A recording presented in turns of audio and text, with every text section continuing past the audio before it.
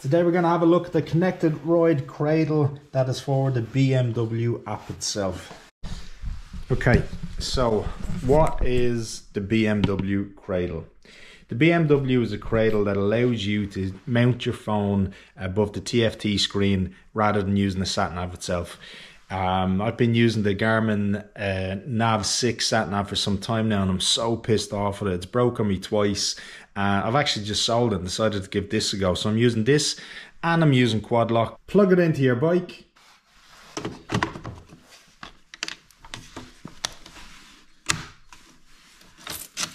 Once the holder's in place, you can adjust this knob and it'll give you some flexibility for the bigger phones.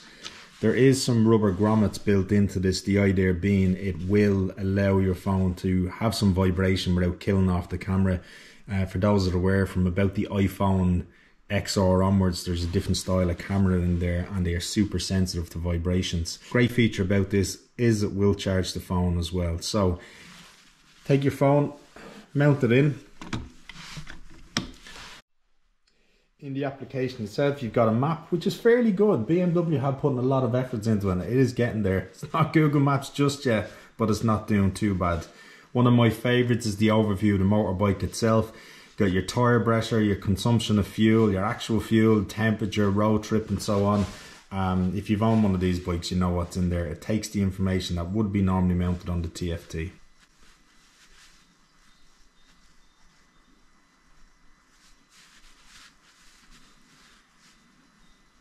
Don't need to keep adjusting the knob or anything. These give a little bit of flexibility so you can just open it and take your phone back out and leave everything as it was mounted. It will be locked in place, uh, same way as your Nav 6 or any other Navs would be. It uh, will require the key to remove it, but um, it's nice and tidy, it's out of the way. Let's see how it holds up with the phone over the coming couple of months. So if you're liking these updates and you want to see more on the new tech as it arrives, give us a thumbs up and please, please hit subscribe.